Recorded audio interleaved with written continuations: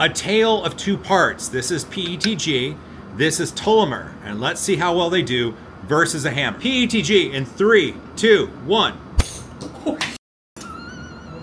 Well, that was eventful. Now I've loaded Tullomer. Three, two, one.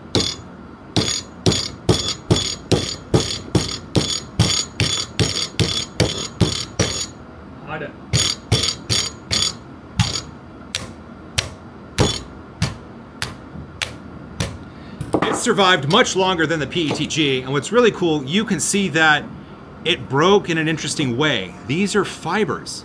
It doesn't lay down like a typical polymer. Fibers are created as you lay this down at that low layer height. And so you get an interesting breakage scenario. Not only is it a lot stronger, but it also doesn't break in the same way. This look at something cool was brought to you by PCBWay. 3D printing, PCB, or CNC, go to PCBWay.com.